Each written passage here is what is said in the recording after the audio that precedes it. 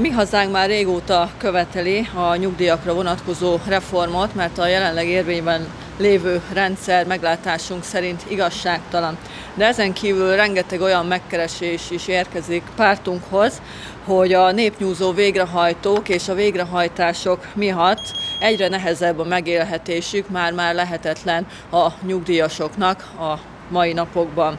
Hiába emelte meg ugyebár a kormány nem is olyan régen a letiltás alóli mentes részt, ugye 60 ezer forintra emelte meg ezt az összeget, de ez igazából nem sokat ér.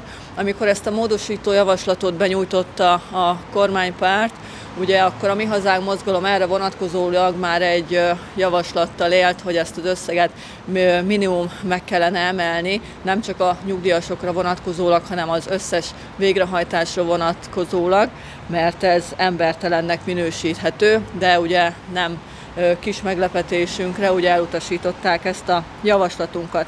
Azt is látni kell, hogy nagyon sok devizahiteles szerződés van még mindig kint, és nagyon sok devizahitel károsult nyugdíjas is még problémákat okoznak ezek a hitelek, akiknek már lehet el is árverezték az ingatlanját, vagy kilakoltatás előtt állnak.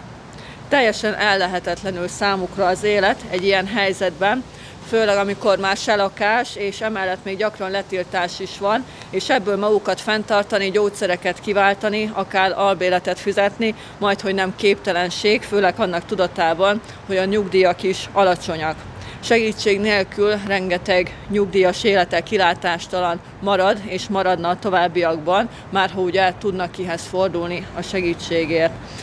Meglátásunk szerint ezen intézkedés hiányában az emberi méltósághoz való joguk is nagyban sérül a nyugdíjasoknak, Éppen ezért a Mi Hazánk mozgalom követeli, hogy ne szolgáltassák ki a nyugdíjasokat a héna követeléskezelőknek és a népnyúzó végrehajtóknak. Egy ledolgozott élet után nem a létminimum alatti tengődés lehet, nem a lét alatti tengődés jár.